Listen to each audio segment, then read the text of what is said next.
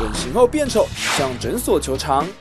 之前的样子比现在还漂亮，但是现在呢，被他做了之后呢，就是整个人已经全部变样了，比以前丑很多。花了两个晚上才做两块。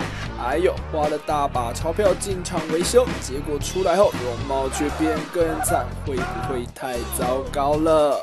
中国杭州一名王姓女子今年初花了新台币十万元左右到医美诊所整形，做隆胸，嗯，还有呃气眉，还有呃双眼皮，还有眼袋。结果，呃，她对成品相当不满意，更不满手术后竟留下疤痕，害他得多花五万元左右做了八次修复手术。一直在修复，从过年到现在已经半年了啊。他不满向院方求偿。你说他哪里难看？鼻子难看，还是双眼皮难看，还是脸难看，还是什么情况？你觉得他哪里失败？你觉得哪个手术是失败的？